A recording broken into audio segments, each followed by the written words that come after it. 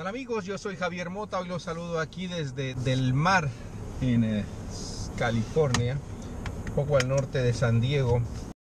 Estamos aquí con la nueva generación del Toyota Avalon, a pesar de esa tendencia de que los consumidores buscan más SUVs o crossovers. Toyota por lo menos todavía confía mucho en los sedanes. El uh, Camry, que debutó el año pasado en su nueva generación, fue el auto más vendido de Toyota el último mes, así que todavía hay un gran potencial para ellos y por eso es que ponen mucho esfuerzo y recursos en renovar eh, modelos como este Avalon. Algo del diseño exterior que llama mucho la atención es que todas las luces son de LED y tienen las direccionales que le llaman progresivas, es, es decir, que van indicando al lado de izquierda o derecha donde se va a dar vuelta yendo de un lado al otro de la unidad de iluminación y realmente luce bastante atractiva esa parte. El segmento como tal no tiene ya tantos competidores, está el Chrysler 300 que no ha sido renovado en más de 10 años. También está el Nissan Maxima que de hecho es el líder en este segmento, el Buick LaCrosse y el Chevy Impala competiría en este segmento pero ya ese auto ya incluso Chevrolet ha dicho que lo va a eliminar Así que no queda mucho en este segmento y Toyota obviamente quiere aprovechar de lo que quede de vida a estos vehículos sedanes grandes. Así que la nueva estrategia de Toyota es atraer a consumidores más jóvenes. En la actualidad la edad promedio de un comprador típico de un Avalon es 64 años, así que Toyota ha eh, eh, agregado par de versiones más deportivas a esta nueva generación y un diseño mucho más agresivo. Y en las dos versiones deportivas tienen suspensión ajustada específicamente para ellos, tienen un Sports Mode, tienen incluso un sistema que mejora el sonido del motor. Eh, no es totalmente natural, eh, lo mejora acústicamente con temas de cancela ciertas frecuencias de sonido y agrega otras que sí se quieren escuchar dentro de la cabina y también mucha tecnología. Eh, y ahora la pantalla esta de 8 pulgadas es estándar en todos los modelos. Por fin tiene Apple CarPlay eh, en un producto Toyota, algo que muchos estaban pidiendo hace mucho tiempo también. Y como podemos ver en el interior, combinación de materiales. Este es el modelo Limited, así que uno de los de más alta gama.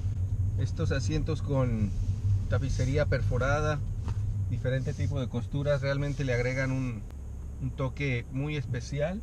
Y no es un vehículo demasiado caro. En el top de la gama está alrededor de los 40 mil dólares.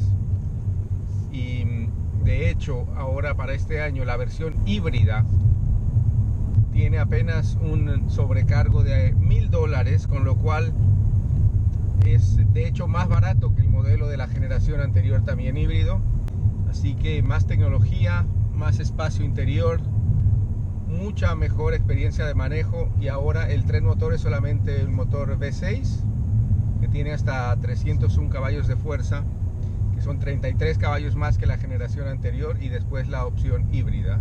Lo hemos manejado aquí alrededor de San Diego y realmente sí es un auto muy cómodo.